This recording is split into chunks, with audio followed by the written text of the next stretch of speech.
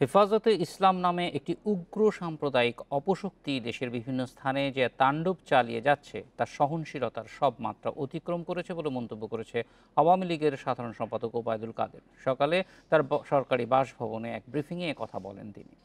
যারা দেশব্যাপী তাণ্ডব চালিয়েছে বা চালিয়ে যাচ্ছে তাদেরকে হুঁশিয়ার করে বলে দিতে চাই। দেশের জনগণের ধৈর্য সহনশীলতার একটা সীমা আছে। সীমা অতিক্রম করলে তার পরিণতি হবে ভয়াবহ।